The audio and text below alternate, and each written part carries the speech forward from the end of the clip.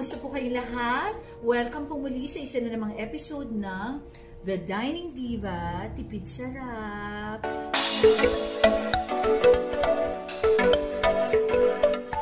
So, itong araw na po na ito, ang gagawin po nating recipe ay sarsyadong itlog ng pugo sa sardinas.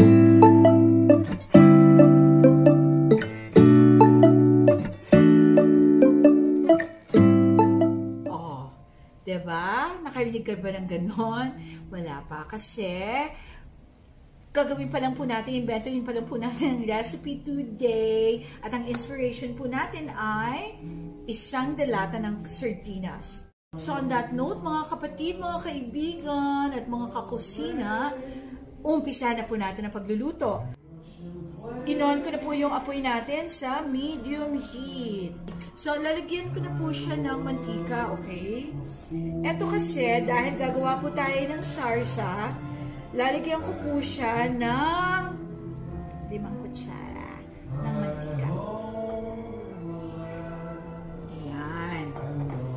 Sarsa po, kasi magsasangkot siya na naman po tayo.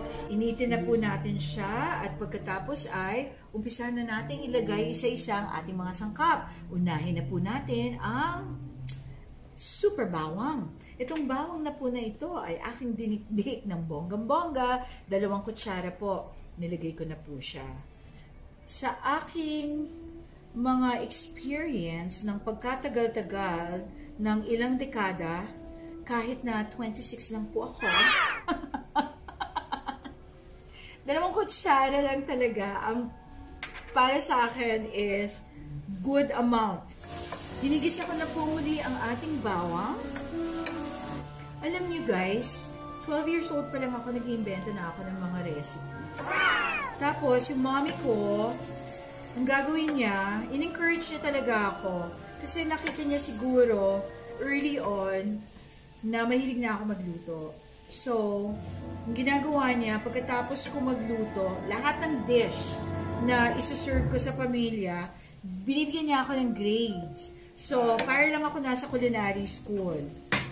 Bago ko ituloy ang aking kwento, ilalagay ko na po yung dalawang tasa ng uh, chopped up na, na sibuyas.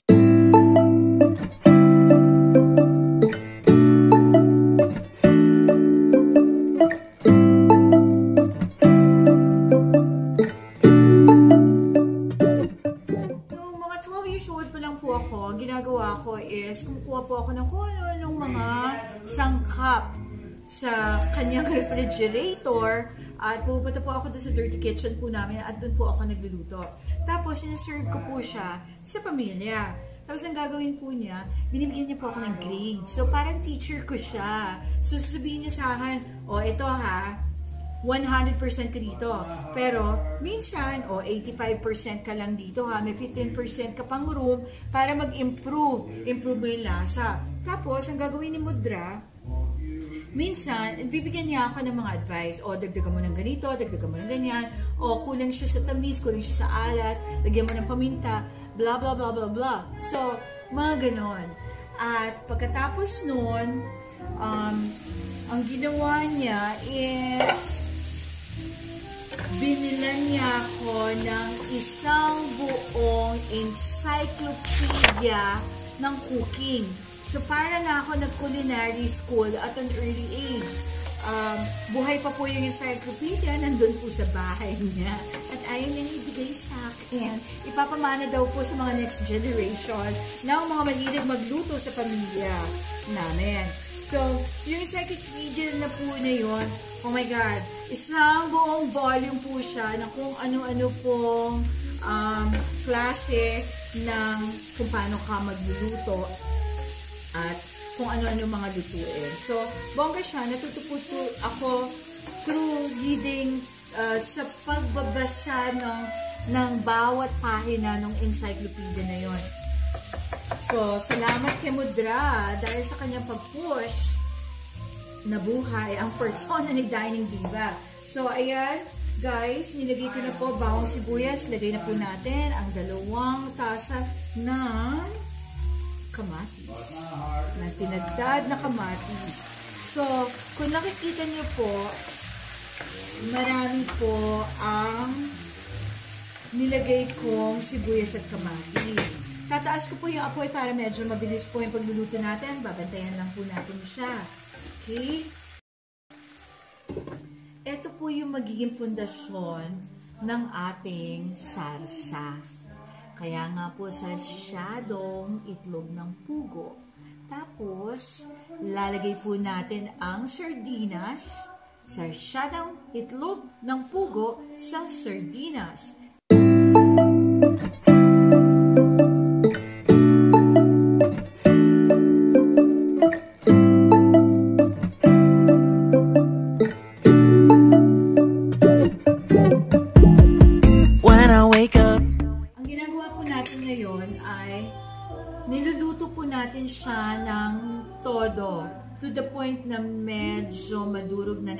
Konti yung ating mga sangkap.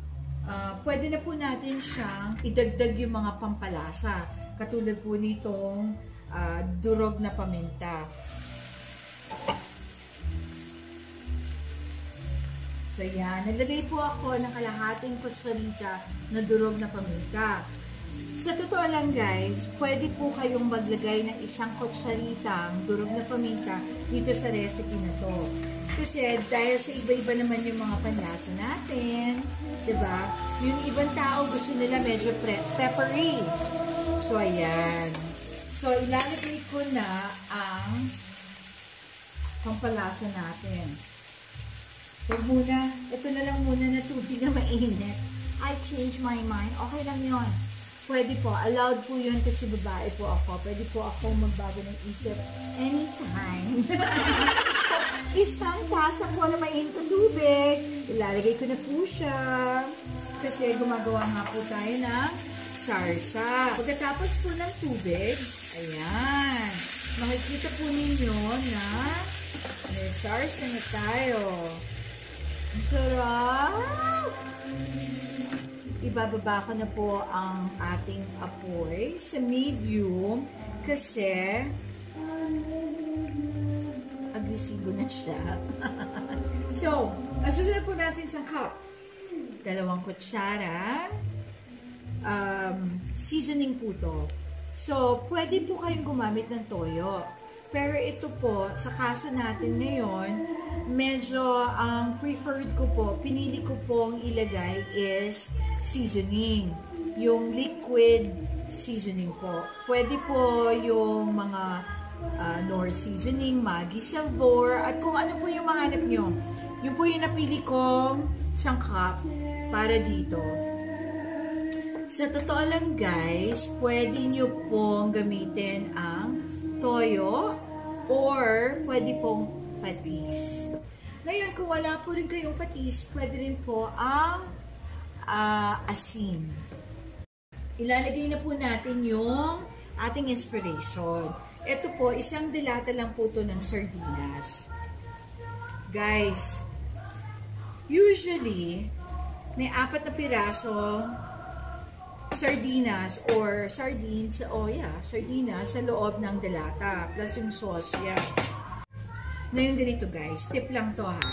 Dahil apat lang po siya, at kung anim ang pamilya, anim kayo sa pamilya, syempre mag-aaway-aaway po kayo dun sa isda, ba? Diba? Pwede nyo po siyang durugin. Okay? Para naman hindi makalamang si kuya. so, tsaka hindi nga pantay-pantay yung dami ng isda. May mas maliliit, may mas malaki. So, apat na piraso, pwede nyo po siyang iwan na buo or syempre mas maging malasa yung sarsa nyo kapag dinurog nyo po yung sardines.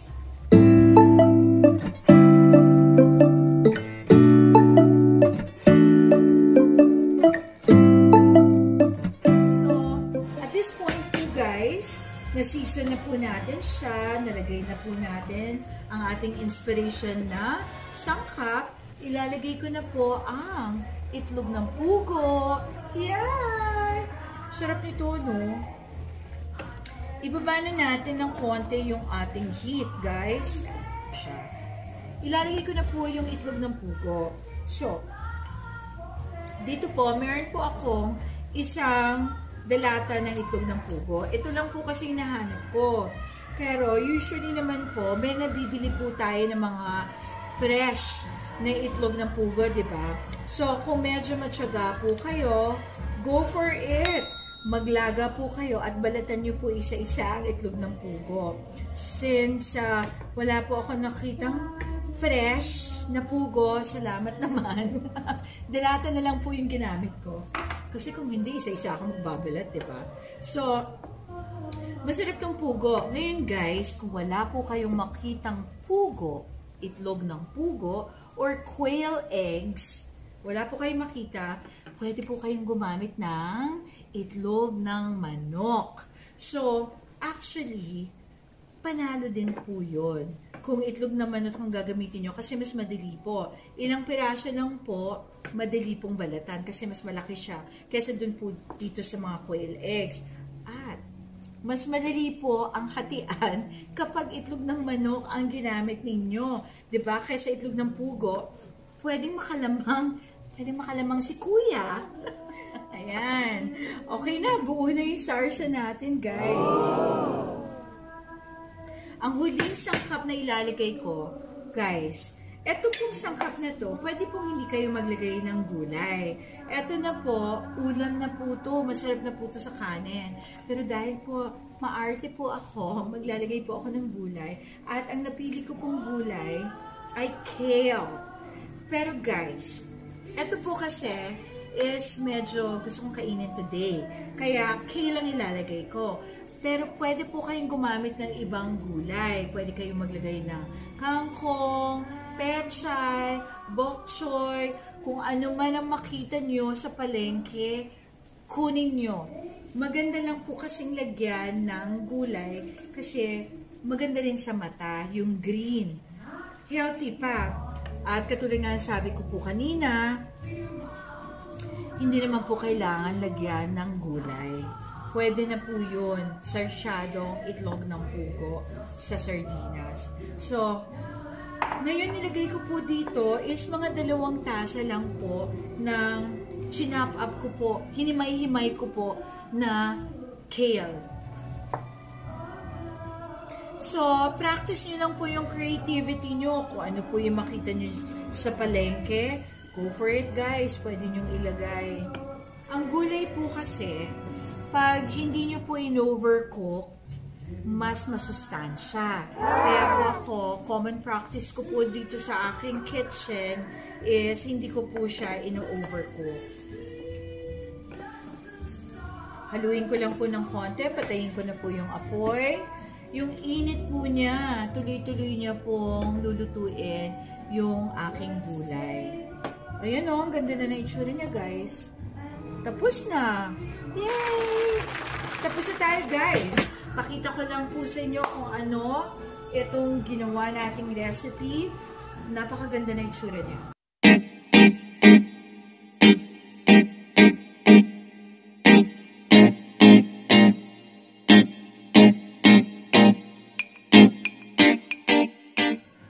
Isang kaldero sa isang delatang sardinas, meron kang isang kalderong ulam. Oh, panalo. Siyempre, hindi kailangan mag, mag-agawan si kuya, si ate, at si baby. Dahil merong sapat, sapat na ulam para sa lahat. Takpan ko lang siya.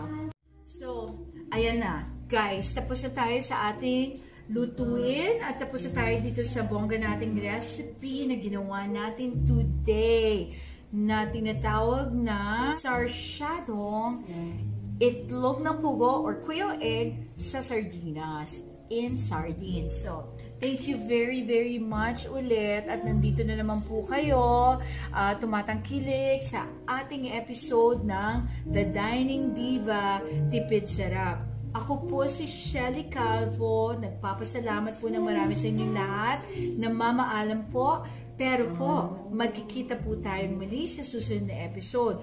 Huwag niyo pong kalimutan mag-like, love, subscribe, at mag-share po nitong mga videos natin. Salamat na marami. Sa susunod po muli.